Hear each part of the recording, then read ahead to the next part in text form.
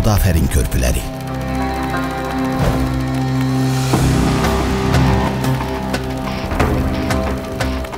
Azərbaycanda körpü tikmə ənənəsi çox qədim dövrlərdən mövcud olub.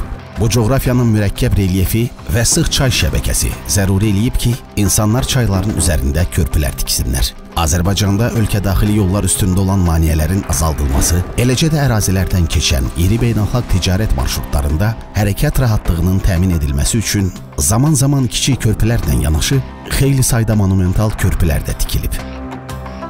Ön Asiyada körpü tikintisi sahəsində Azərbaycan ən ön yerlərdən birini tutur. Bunu Azərbaycan ərazisində qalan çox saylı körpülər sübut edir və bu körpülərin bir çoxu nadir memarlıq əsərləridir. Araz çayı Azərbaycanı qərbdən şərqə 100 kilometrlərlə e, kəsib keçir və bu e, çayın üzərində təbii ki, tarix boyu çoxlu körpülər tikilir. Bu körpülərin e, böyük hissəsi, böyük qismi dağılıb aradan gelib, amma Arazın üstündə qalan iki körpü yəni Azərbaycan körpüləri içərisində ən məşhurlarıdır. Bunlar Xudafərin körpüləridir.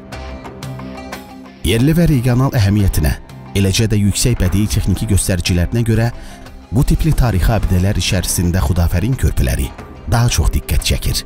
Xudafərin körpüləri Azərbaycan ərazisində Böyük İpək yolunun əsas qovşaqlarından biri olaraq strateji əhəmiyyət daşıyıb. Müxtəlif dövrlərdə ayrı-ayrı tayfaların və qüvvələrin yerləşdirilməsini, miqrasiyasını, böyük ticarət karvanlarını istiqamətləndirən bu körpülər cənubdan şimala, eləcə də şimaldan cənuba hərəkət eləyənlər üçün əlverişli köç yolunun mərkəzi qovşağı olub.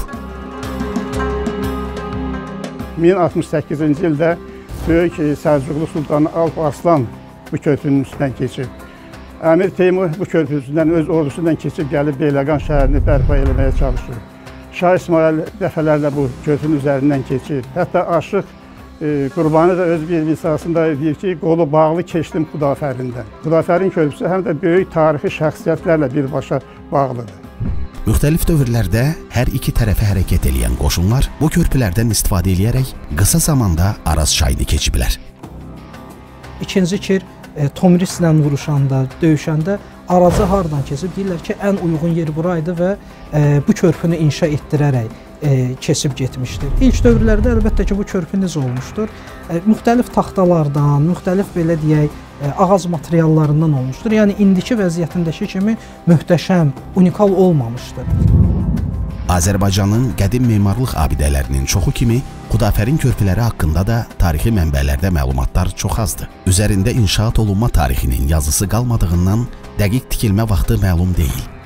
İlk yazılı mənbələrdə bizə rast gəlinir Həmdullah Mustafi Qəzvinidə. Onun e, məlumatına görə e, Xudafərin körpüsü, Xuda afərin deyir özdə deyir ki, Peyğəmbərin sərkərdəsi Bəkir İbn Məhəmməd e, buradan keçəndə 7-ci əsrin başlarında keçəndə bu e, Xuda afərin körpüsünü saldırır. Həm Avropa, həm də Azərbaycan alimləri Xudafərin körpüsünün 12-ci əsrdə Azərbaycan atabəylərinin ən qüdrətli çağında inşa olunduğunu qeyd eləyirlər.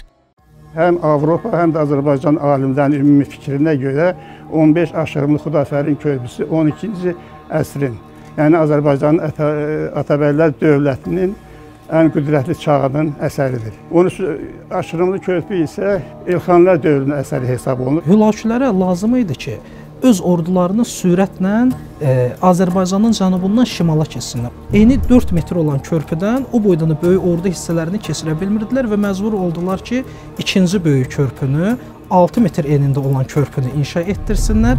Aşırımları qayaların təbii yer quruluşuna uyğun atıldığı üçün körpünün planı düz xəttdə olmayıb, bir qədər əyrintilidir.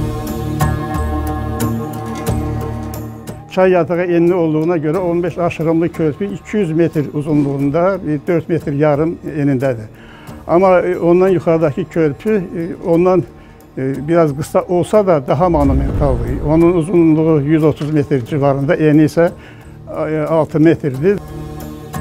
Tikinti materiallarının faktura və rəng uyğunluğu Xudafərin körpüsünə aydın tektonik quruluş və xüsusi bədii görkəm yaradır. 15 aşırımlı körpü bu gün də işlək vəziyyətdədir. Nəyə görə bu daha çox möhtəşəm göstərir? Çünki o bütünlüklə yonulmuş daş bloklardan tikilir. Onun tikintisi də daha diqqətlə yanaşılır. Daha yaxşı memarlıq əsəri yaradılmağa çalışılır. Hətta onun üzərində son araşdırmalarda, e, bu işğaldan öncəki araşdırmalarda oyma daş üzərində naxışlar, naxış elementləri aşkar edilmiş ki, bu da körpü tikintisində çox nadir hadisədir. Təəssüflər olsun ki, Xudafərin körpüləri illər boyu lazımınca qorunmayıb və körpülər müxtəlif dövrlərdə çətin sınaqlardan keçiblər. Son və ən çətin dövr isə 30 ilə yaxın müddətdə Ermənistan silahlı qüvvələri tərəfindən Azərbaycanın 20% ərazisini işğal altında saxlaması dövrü idi. Təəssüflər olsun ki, bu bizim milli simvolumuz. E, 30 il düşmən tapdağı altında qaldı. Azadlığa çıxan körpümüzün yeni həyatı başlamalıdır. E, Xudafərin körpüləri universal dəyərli abidələr hesab edilir və universal dəyərinə görə də e, Xudafərin körpüləri UNESCO-nun dünya irsi siyahısına salınmalıdır. Cəbrayıl rayonunun ərazisində yerləşən Xudafərin və Qumlaq kəndləri bərpa olunduqdan sonra Xudafərin körpüləri əvvəlki əzəmətli görkəmini yenidən özünə qaytaracaq və bəşəriyyətin dəyərli memarlıq nümunəsi kimi hər zaman lazımi səviyyədə mühafizə olunacaq.